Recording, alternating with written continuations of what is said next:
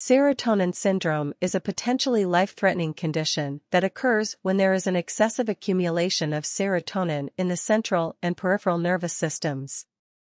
Serotonin is a neurotransmitter that plays a crucial role in regulating mood, appetite, and sleep. The condition can be caused by the use of certain medications, supplements, or recreational drugs that increase serotonin levels in the body.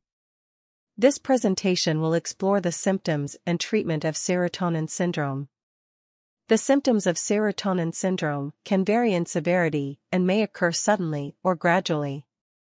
Some of the most common symptoms include agitation, confusion, rapid heartbeat, high blood pressure, dilated pupils, sweating, diarrhea, headache, shivering, and muscle rigidity.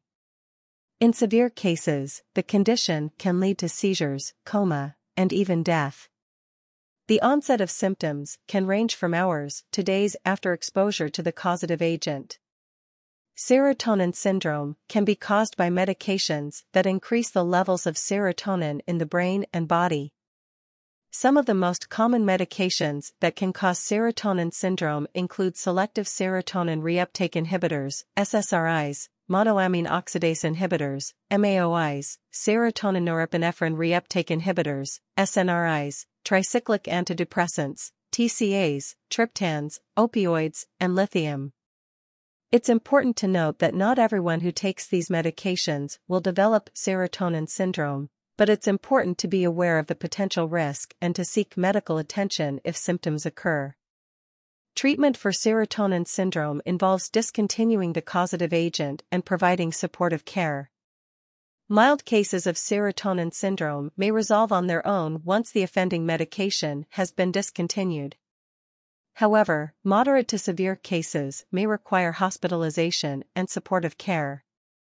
Treatment may include administration of benzodiazepines to control agitation and muscle rigidity, intravenous fluids to maintain hydration and blood pressure, and medications to control seizures if they occur. In some cases, serotonin antagonists such as cyproheptadine may be used to decrease serotonin levels in the body. Preventing serotonin syndrome involves avoiding the use of multiple medications that increase serotonin levels and informing healthcare providers of all medications, supplements, and recreational drugs being taken. Early recognition and prompt treatment are essential for a favorable outcome.